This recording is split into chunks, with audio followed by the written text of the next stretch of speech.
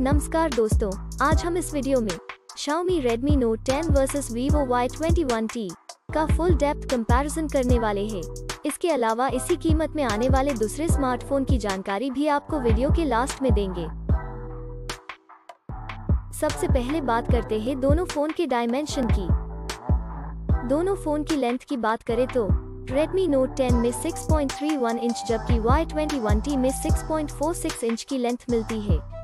With की बात करें तो Redmi Note 10 में 2.93 इंच जबकि Y21T में 2.99 इंच की विथ मिलती है। बात करें थिकनेस की तो Redmi Note 10 में 0.33 इंच जबकि Y21T में 0.31 इंच की थिकनेस मिलती है। अब बात करते हैं वेट की तो Redmi Note 10 में 178.8 ग्राम्स जबकि Y21T में 182 ग्राम्स का वेट देखने को मिलता है, जो कि सेम जैसा ही है। तो चलिए अब हम डिस्प्ले को कंपेयर करते हैं। डिस्प्ले टाइप की बात करें तो Redmi Note 10 में सुपर ए AMOLED जबकि Y21T में IPS LCD की डिस्प्ले मिलती है। एस्पेक्ट रेशियो दोनों फ़ोन में सेम ही 20 रेशियो 9 मिलता है।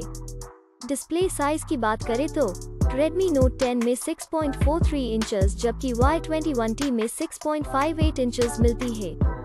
डिस्प्ले रेजोल्यूशन Redmi Note 10 में 1080 by 2400 और Y21T में 1080 by 2408 मिलता है।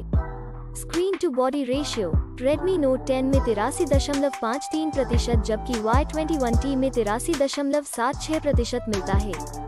बात करें PPI डेंसिटी की तो Redmi Note 10 में 409 पिक्सल प्रति इंच जबकि Y21T में 401 पिक्सल प्रति इंच मिलती है।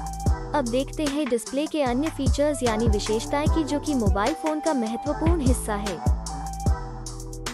अब बात करते हैं सबके पसंदीदा फीचर्स कैमरा की। दोस्तों, सबसे पहले बात करें मैन कैमरा की तो Redmi Note 10 में चार कैमरा देखने को मिलता है, जिसमें कि primary camera ultra wide angle camera macro camera और आखिर में डेप्थ कैमरा देखने को मिलता है।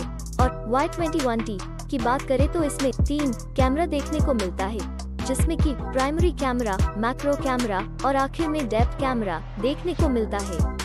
बात करें वीडियो कैमरा की तो Redmi Note 10 में आठ डिफरेंट टाइप के फीचर्स मिल जाते हैं और Y21T की बात करें तो उसमें सात डिफरेंट टाइप के फीचर्स मिल जाते हैं।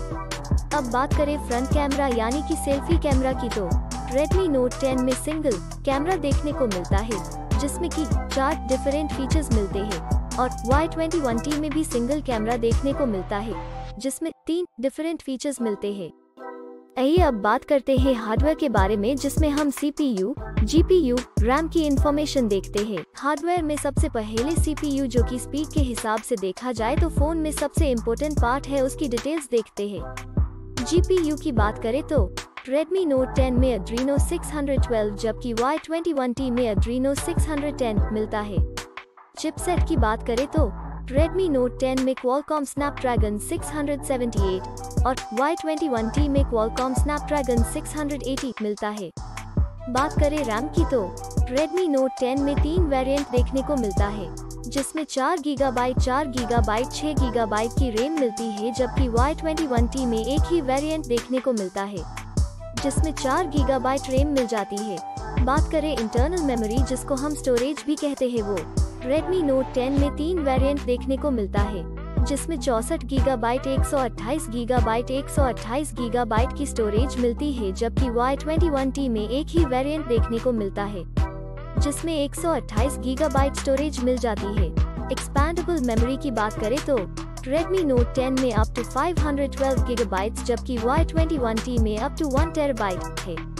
ऑपरेटिंग सिस्टम दोनों फ़ोन में Android V11 देखने को मिलती है।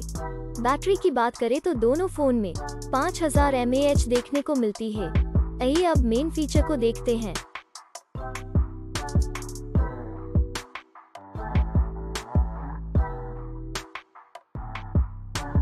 कलर्स की बात करें तो Redmi Note 10 में तीन कलर्स जबकि Y21T में दो कलर्स ऑप्शन मिलते हैं।